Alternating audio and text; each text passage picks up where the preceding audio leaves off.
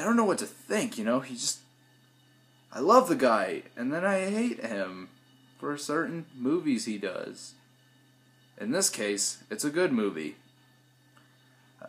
Nah, I'm just I'm just gonna skip that. You know, I'll, I'll go deeper into what I'm gonna say about this movie, deeper into this video. Anyway, today I'm gonna uh, hi, this is Joey Vermin, and today I'm gonna be reviewing a film by Uwe Boll known as Seed. So, intro.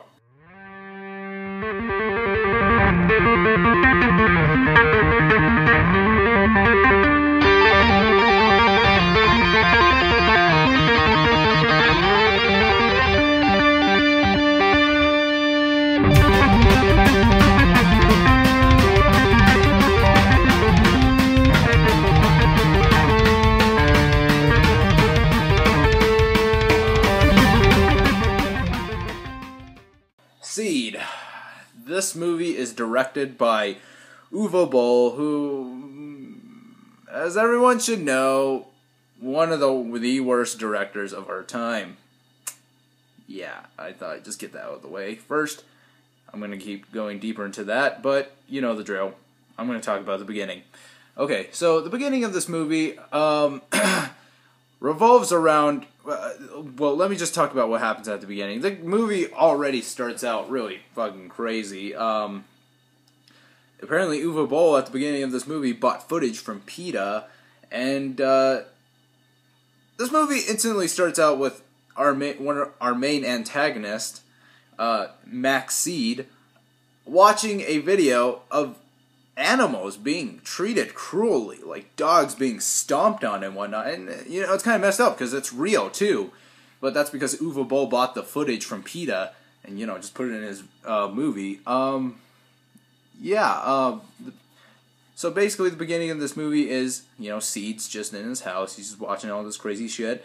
Then all of a sudden, uh, a police officer. I can't remember his name. I- I'm sorry. I watched this a while ago. So, but a police officer and his crew must go to Seed's house to arrest him. Doesn't go as standard procedure as they thought.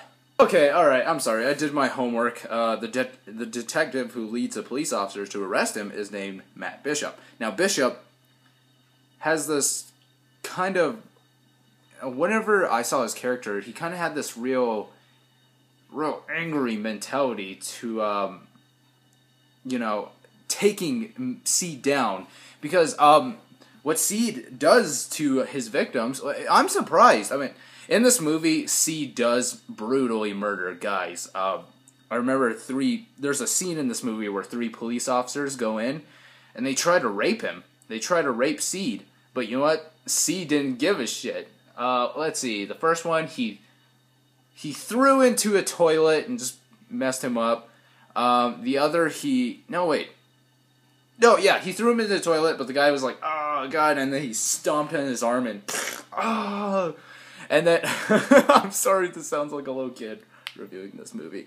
Um, uh, the, the other guy gets he takes the pin off the little pin badge and he stabs the guy in the eye with it, and the other guy's just like leaning the bars like help! Help! And the bars are like this huge right? And then C just kicks him and and then like his head goes through the bars and his head's all messed up and stuff.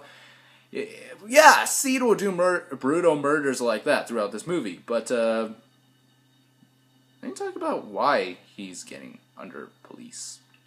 The police hunt him because Seed murders people of, of course but see what Seed does is he takes people and he locks them in this room with no food, no water, and leaves them in there until and and he records the entire thing with this camera that he built in there, and basically he just films them until they eventually succumb to starvation, in which they well he he he keeps filming them until it shows footage of like the bone or you know their skin being melted down to their muscle, to their bone, you know, to nothingness, almost nothingness, because the maggots start eating the bodies.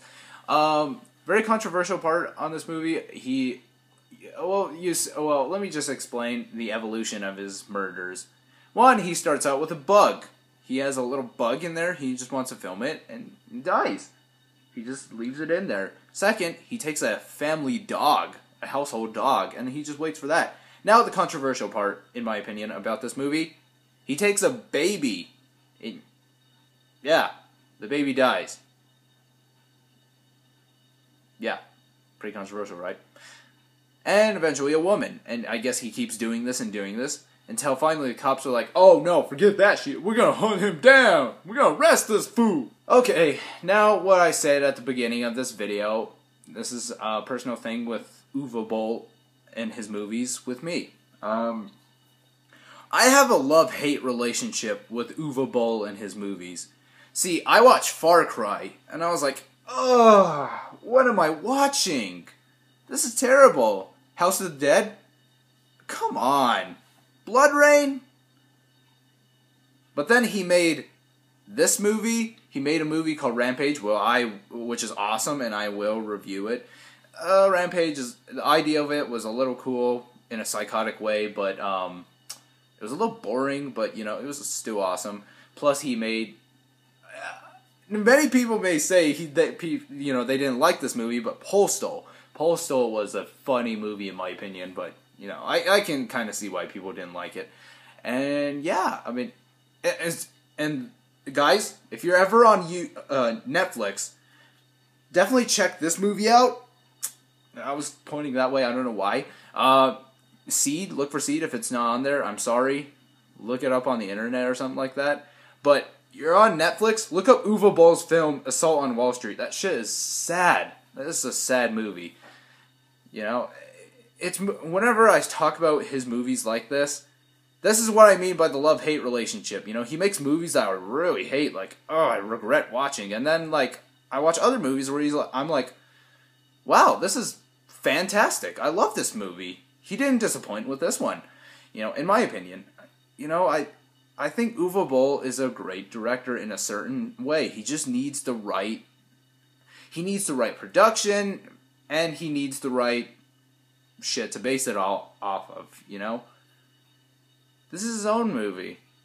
I don't know if this is based off a video game or something because he's usually known for his video game movies, but uh, yeah, you know, love hate relationship with his movies. This movie, love. This is part of the love relationship I have with Uwe Boll and his movies.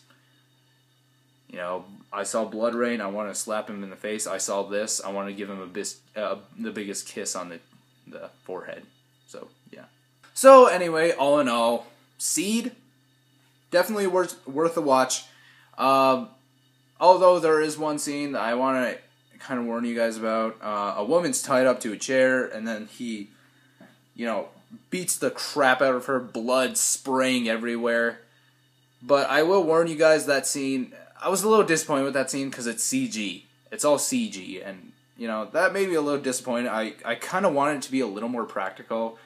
I, uh, with horror, I'm the practical guy, meaning, yeah, I'll watch. You know, I'll watch Walking Dead. You know, even though uh, almost every kill in that show and most horror movies nowadays is just CG, you know, fake blade that doesn't even exist right there going through a person's head in a really awesome way. You know, I call me old fashioned, but I like practical effects, but that's just me. Anyway, Seed, definitely a watch. Um, yeah, it's quite a it's kind of a creepy film, actually, in a way. If you look at it a certain way, it's a very creepy film. Yeah, so. I forgot to explain to you why Seed kills all these people. I'm sorry. I'm going to explain to you why he kills and then uh, just be my final verdict. So, here we go. Apparently, it's said back in the day that if you survive a certain vault of uh, of electrocution in the electric chair, you get to go free. You get to live. Well, maybe not free, but you know, live. I mean, obviously they're not going to let a serial killer loose, but for, uh, obviously live. So, and Seed survives it, and because he survives it, he gets to live. However, they bury him alive, and Seed does not like that one bit. Yeah, there's a part in this movie where Seed is hiding under a dude's bed, and the guy's like, "Who?" And then he like grabs his head and he just starts biting his nose off. That part's kind of wicked. Yeah. Yee. No verdict. Yes, I, I say watch this movie. Yes, it will seem a little cheesy at first, but give it a try, man. It's worth the watch. I believe it is, anyway. Um, and Uwe Boll, in my opinion, did not disappoint with this movie. So, Joey Vermin recommends. Might be on Netflix, but who knows. Anyway, I hope you guys enjoyed this review. Oh, oh, by the way, um, I got I got in contact with none other but Lucifer Valentine, and I showed him my review for Slaughtered Vomit Dolls. He wants me to make a review for the rest of his movies Regurgitated Sacrifice and Slow Torture Puke Chamber. So, guys, next reviews, definitely be looking out for those, alright? And I'm definitely going to show these to Mr. Valentine himself as well. Anyway, this is Joey Vermin, uh, Joey Vermin, sorry, saying goodbye and I love you. See you guys.